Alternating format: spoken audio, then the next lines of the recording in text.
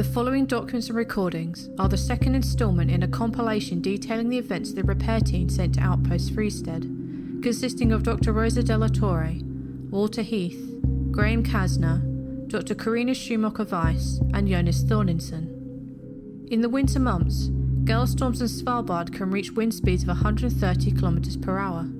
Accompanied by or following snowfall, such storms can reduce visibility dramatically, more so in the frigid months of the polar night. During these storms, travel is not advised. The White Vault.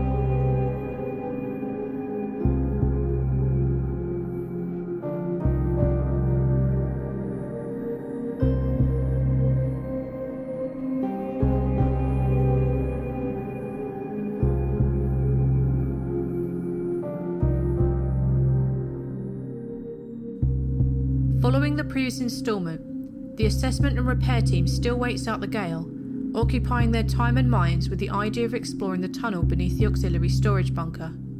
This first note comes from the pile of discarded papers collected from, around, and beneath the bed of Dr. Schumacher Weiss.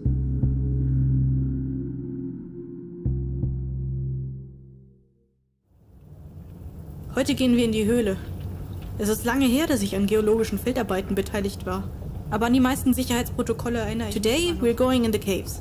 It has been so long since I have undertaken geological fieldwork, but I remember many of the safety protocols.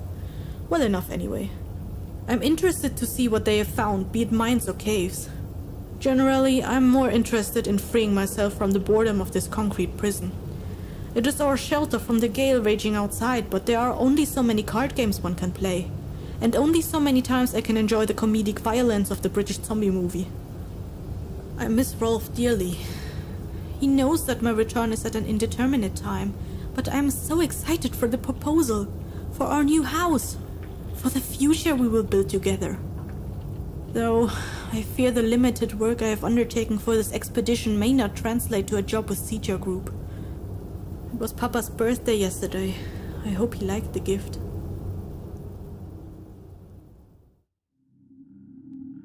Now, an audio track from Mr. Heath's camcorder.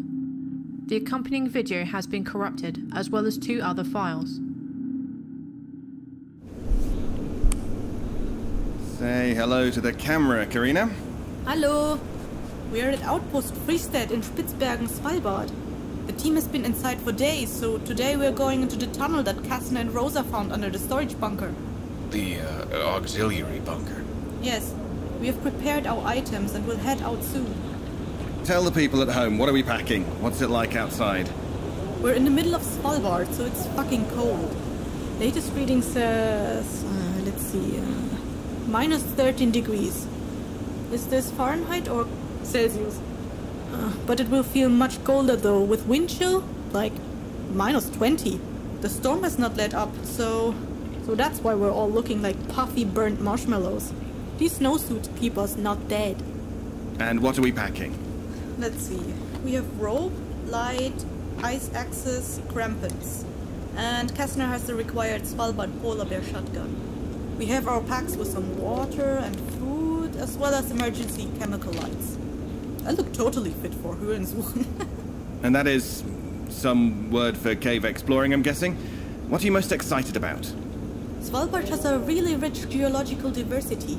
I hope to get some noticeable insights into the local area's geological structure. Svalbard is good for this, as there's so little covering the topmost surface rock, but it will be interesting to get down within the caves and get a look. It is most interesting because I believe we will be traveling in a system beneath the glacier. Are you ready back there? Nearly. Come on, zip up! And I recommend capping that camera until we're out of the storm. Looks fairly new. Yeah, got it just before the trip. We are heading out now. Are you sure you want to stay here, Jonas? Yes, please. The wine last night disagrees with me.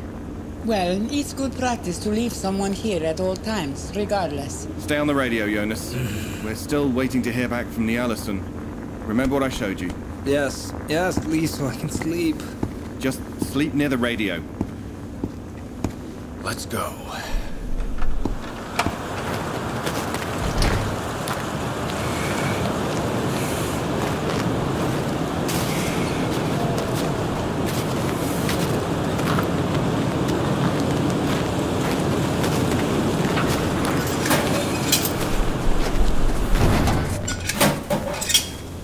Everyone, listen. The stairs are narrow, so use the handrail. Everyone turn on your flashlights.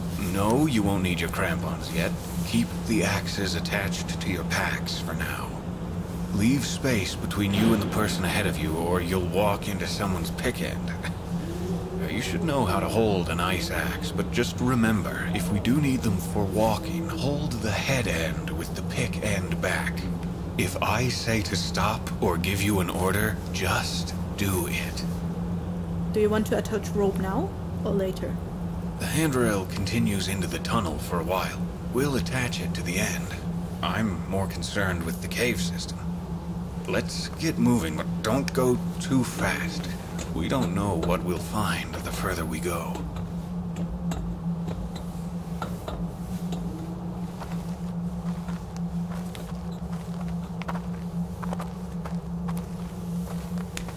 These do seem to be mining tunnels. If you inspect the floor, there looks to even be tracks, though I see no remaining equipment. It will be like this for about a kilometer. It becomes caves after that. You were pretty correct. East by northeast. We should be heading directly toward the coordinates the rovers were missing the data on. If there's a mining shaft there, it would make sense for them to leave the coordinates out of the dataset so as not to skew it. You may want to put the camera away, Walter. It will be a while before we reach the caves. Yes, it's just dark walls now anyway. Uh, Walter Heath, signing off for now.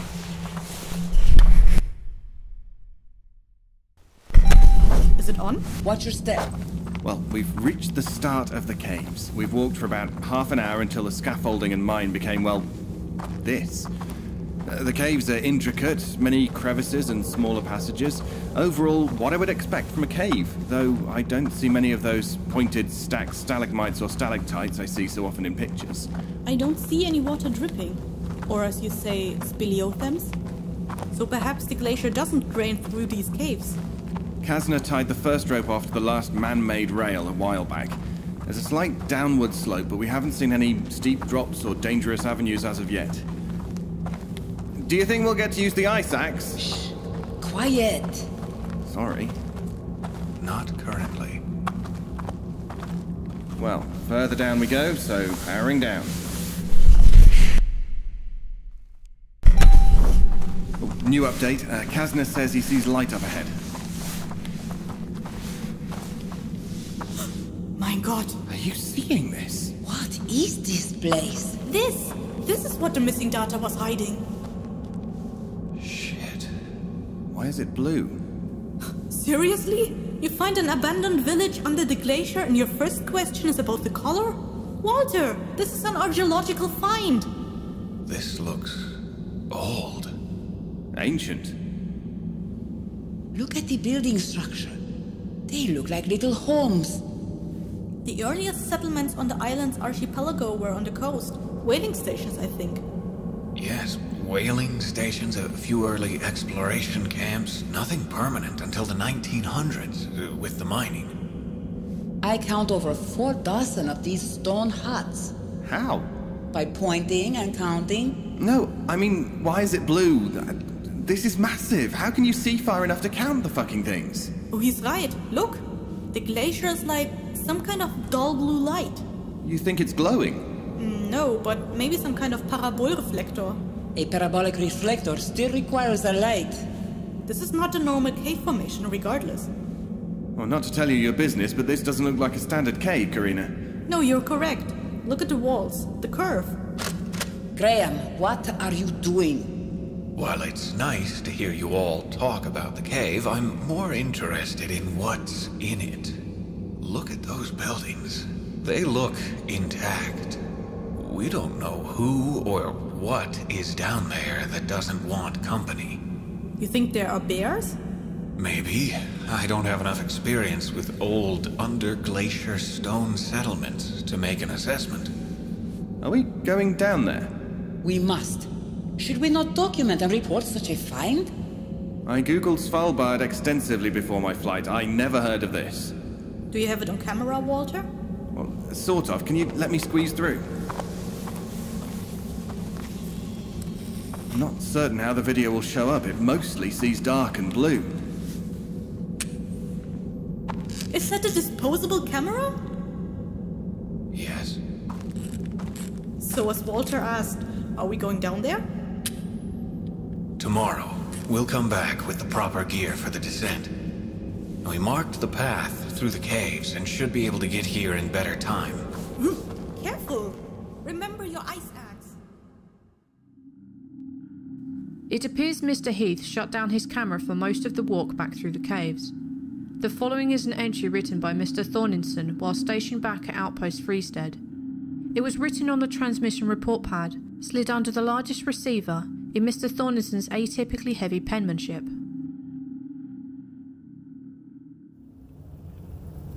Hugmyndir. Útilega.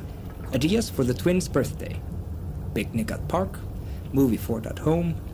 Ask the neighbors to let them ride the ponies. Scavenger hunt around the house. I wonder if Hulda would be okay with a puppy. Why did I drink the wine? Regardless, I slept for several additional hours this morning, and I am feeling better. The others went to look into the hatch Casner found in the storage bunker. I'm sure they are fine. Rosa and Casner are very capable. Perhaps Karina is uh, overly zealous in her geological evaluation. I grow more worried about the others as time continues to pass, though. I'll give them until 1600 to return. Walter showed me how to operate the radio. Sadly, I forgot how to record. Around 10:30, the radio clicked, and I believe somebody was trying to reach us. It started transmitting static. I responded, but the return was more of the static. About four minutes after it started, something else began, some kind of a voice. I recorded it on my phone as soon as the static began. This sound file was on Mr. Thorirsson's cell phone. An old sturdy flip phone, the recording quality is lacking.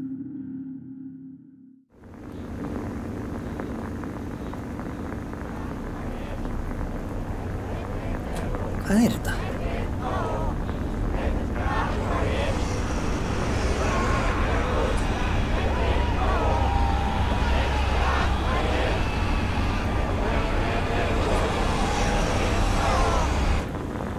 What the fuck?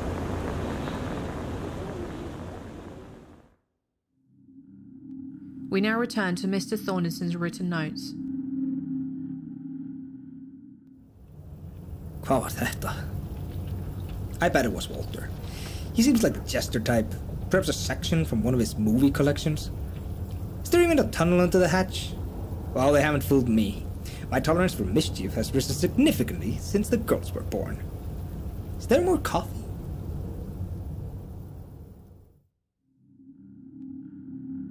Another group recording was found on Mr. Heath's laptop.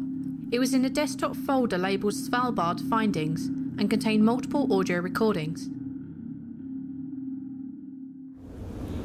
Is this another jest? Show me the video. Well, take a look. The camera's on the shelf next to the coffee tin. Just plug it back in when you're done. Jonas, wait until you see it before you judge. It was astonishing. Non ponadavica Parakrukov, Molotok, Motok, Veriovki, Toporiki, Alpenitski, Akoshki, Blin, Yalushka Zabishu. What, Kessler? Well, the drop down into the cave looks just under two meters, but the landing looked icy and sloped. Once we get to that small landing, there's less than a meter of space available before the angled descent down into the cave floor. I'll need to attach a line and some pitons to get us down there safely, and back up into the passage for a safe return. Any ideas what it was? How did it get under the ice? And that light? There are many Mayan ruins I've seen back in Mexico, across the Yucatan, with stone huts like those. These are different though. Different stone. Looks so old.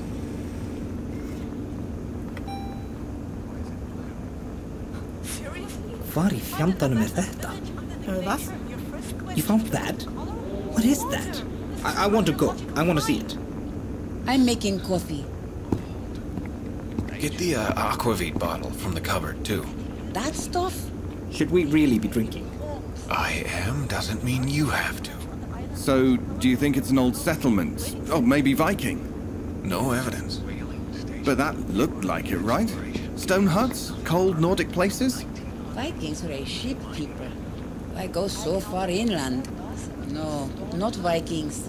Well, we're not the experts. It may as well have been. Kessner is correct.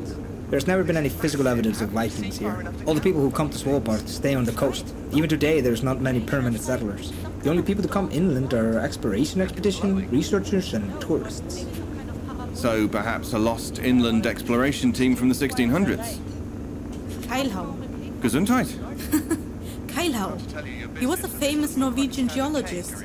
Keilhau Fjellet, the mountain in southern Spitsbergen, was named after him. He and his team were some of the earliest interior explorers, and even that expedition was as late as the 1800s.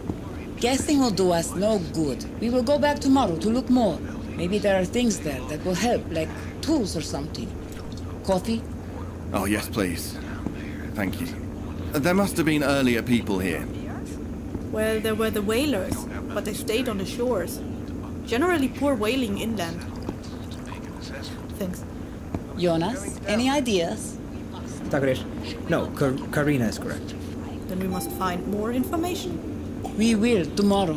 For now, drink coffee, eat food, and warm your bones. The blue color, it's rather striking. Karina and Rosa had some ideas regarding the um, the glacial, the parabolic effect of the glacial ice above. It would still need light from somewhere. I have a question. Mm-hmm. Why does a Siegia group outpost have a tunnel leading to an old underground settlement site? And why has said settlement not been reported to the government?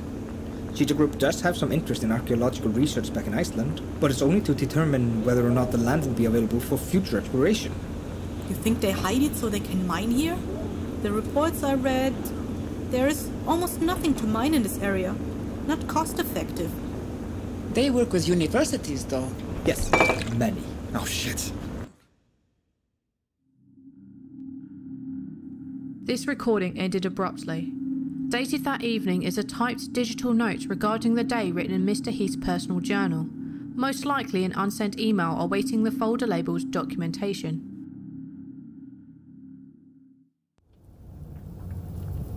I spilled coffee on my laptop earlier, but it appears to be in working condition again. Now, for the fun part. We found something today. Casner found a hatch in the storage building nearby. Yesterday, he and Rosa explored it a bit, and today we went to go take a look further down the tunnels. It's quite the labyrinth down there. Casner has relevant experience with these activities, so he tied a line and went exploring. I guess we were traveling downhill with every step because what we found was under the ice. We walked into this massive cave, at least five stories to the ceiling, and it was the glacier. The whole ceiling is just this massive blue glacier. We must have been kilometers away and several hundred meters down. It took us a couple of hours to reach the little entrance we found. It's a town as well. There are little stone houses like the crumbling ones I saw up in Scotland, but in great condition. Some are built into the walls, others freestanding. We didn't drop into the cave yet, as Casner wants to make sure we're prepared. Generally, that's appreciated. We've made some rather wild conjectures regarding the cave and its buildings. I lean toward the lost unnamed explorers setting up camp for the winter line of thought. Karina is certain that any such loss would have been noted in history, but there is much history has forgotten. Or Vikings. It could always be Vikings. The following note was found between the bed and nightstand of Mr. Thorirsson. Á morgun. Vera vissum að segja frá útvarsmóttökunni. Tomorrow. Be sure to tell them about the recording you took of the radio. Ask how to use the radio again.